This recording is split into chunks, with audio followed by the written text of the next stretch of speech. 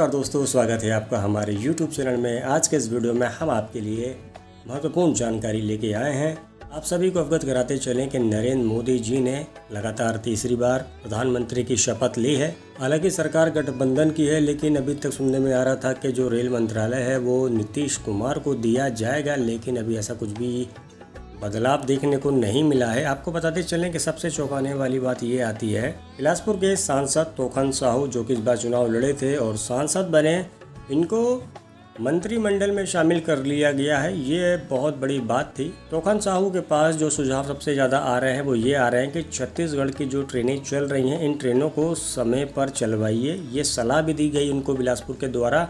और जो विपक्ष पार्टी थी, उनके द्वारा भी ये बोला गया कि भैया सबसे पहले बिलासपुर, यानी कि दक्षिण पूर्व मध्य रेलवे की ट्रेनों का जो समय है, उसको आप सुधरवाइए और ट्रेनों को समय पर चलवाइए। आपको बताते चलें कि तोखन साहू जी को केंद्रीय राज्य मंत्री बनाया गया है। बताया गया कि तोखन साहू जी मंत्री बन जाने के बाद, तोखन साहू जी को सबसे पहले प्राथमिकता के आधार पर सबसे पहले ट्रेनों को समय पर चलवाना सुनिश्चित करें। एयरपोर्ट जैसे काम जो बिलासपुर में हो रहे हैं, अब वो तेज गति से हों। आपको बताते चले कि बिलासपुर से बने अब तक सांसदों में तोखन साहू जी प्रथम सांसद हैं बिलासपुर के, जो केंद्रीय मंत्री मंडल में शामिल हुए हैं। निश्चित ही स्थानीय सांसद को केंद्रीय मंत्री बनाकर क्षेत्र के हित में फैसला लिया गया है। स्वागत योग्य है। अब ऐसे में बिलासपुर से एक केंद्र मंत्री निकल के आ गए हैं। अब बिलासपुर में रेल सुविधाओं पर विस्तार हो सकता है, जो बार बार लेट लतीफ़ी ट्रेनों की होती है, या फिर और भी जो रेल समस्याएँ हैं, उन पर सुधार किया जा सकता है। तो फ़िलहाल आप देखिए, ये पाँच साल में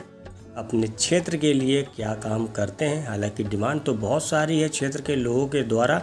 अब देखिए कौन कौन सी डिमांड को पूरा किया जाता है। इनके अलावा आपको बताते चले कि दक्षिण पूर्व मध्य रेलवे के द्वारा जो स्पेशल ट्रेन कोरोना के बाद से चलाई गई थी, यानी कि जो नॉर्मल ट्रेनें चला करती थी, उन ट्रेनों के नंबर के आगे से ज़ीरो को हटाकर उन ट्रेनों को स्पेशल बना दिया गया था। उसके बाद अभी हाल ही में दक्षिण पूर्व मध्य रेलवे और और भी कई सारे जोन हैं जिन्होंने अपनी जो पुरानी सर्विस थी उसको शुरू किया, यानी कि स्पेशल ट्रेनों के नंबर के आगे से ज़ीरो को हटाकर उनको नॉर्मल ट्रेन बना दिया। अब सबकी निगाहें पश्चिम मध्य रेलवे पर टिकी है कि पश्चिम मध्य रेलवे की तरफ़ से कब जानकारी आएगी, कब ये निर्णय लेंगे और कब ये अपनी स्पेशल ट्रेनों को पुराने नंबर से चलाएँगे, नियमित तरीके से चलाएँगे, अब सबकी नज़र पश्चिम मध्य रेलवे के ऊपर है।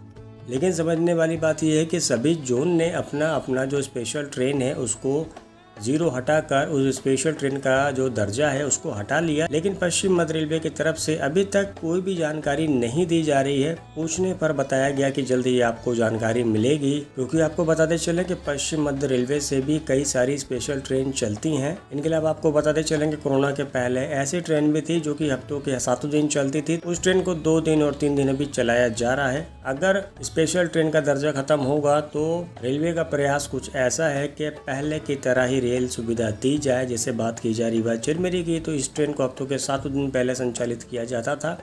कोविड के बाद से जब शुरू किया गया तो इस ट्रेन को हफ्तों के तीन दिन चलाया जाने लगा।